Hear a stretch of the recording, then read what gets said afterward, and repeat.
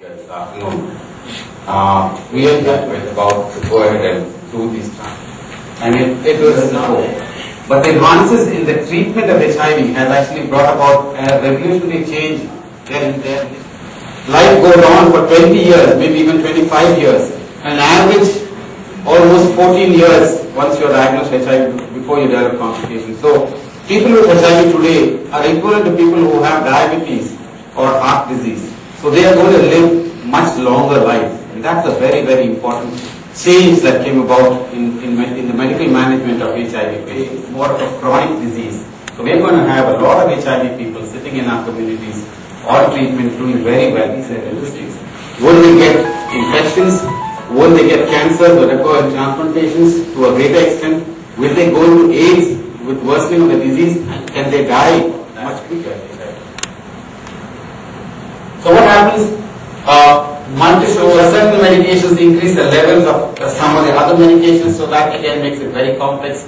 We need to make uh, measure the levels of these medications on a very regular basis. So in conclusion, I wouldn't go too long. It's just to say that our experience in HIV patients should be considered no different in any than any other patient. In our experience, HIV transplantation in HIV patients should be no different from patients who have uh, transplantation otherwise, that are non-HIV patients. And just consider them as patients who have a slightly increased risk. And that is what our experience showed. Reluctance to transplant patients with HIV is no longer there, but it's like a whole team of us. Here you have Dr. Ashley, who's the director. Uh, we have Prashant, who's there on the dais, uh, who's the lab donor uh, person, and the transplant urologist, Dr. Sanjay Rao, who's again on the dais, uh, and uh, and also Dr. Isya Kamal, my colleague.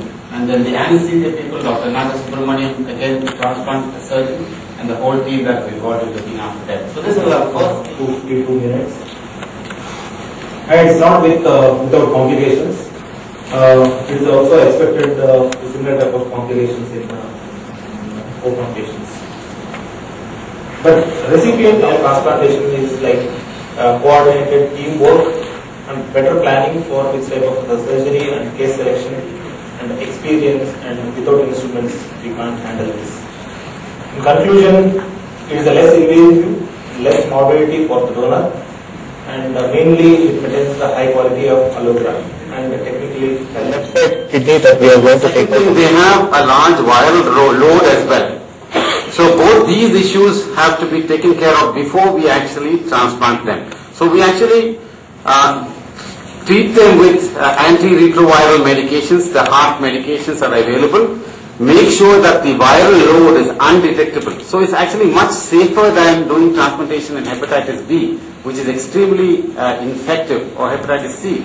Uh, it is far safer than hepatitis B and C. Remember that. That's, that's a very interesting. Uh, These immunosuppressive medications also inhibit the multiplication of the virus.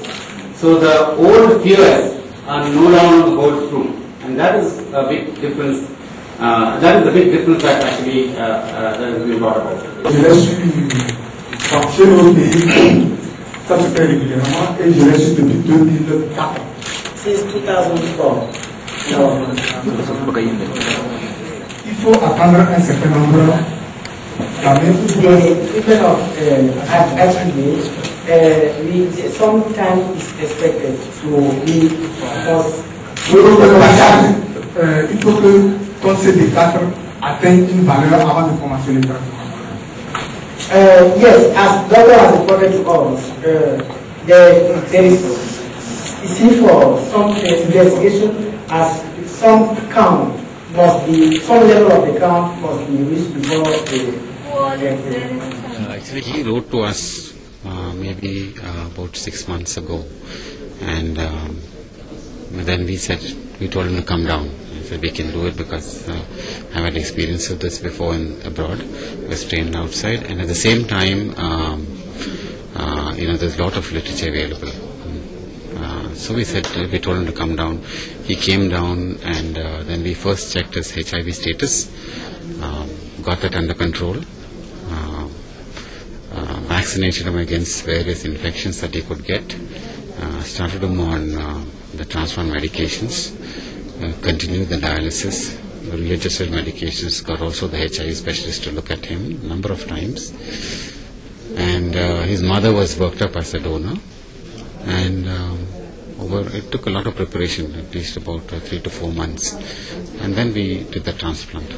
Doing the transplant and managing the post-transplant was not that difficult. We had uh, a very good hold on the medications, checked the levels regularly, and um, and uh, he did very well post-transplant. We had actually no complications at all, so that was a very big thing. And uh, you can see him now. Viral load जो है, virus का load, yeah, that has to be actually brought to less than 50,000, less than 50,000. So though basically the viral load is suppressed completely, almost undetectable levels. And uh, the CD4 cells, uh, which is the immune cells, have to come up. Uh, so we prefer it at least more than 200, which is the international recommendation. They had a level of about 360. Uh, one had 360 and the other one had about 320. Uh, two of them. He had about 360. It will come down after transplant, but it will again climb up. It will come down a bit after transplant. It is down a little bit after transplant, but it will pick up.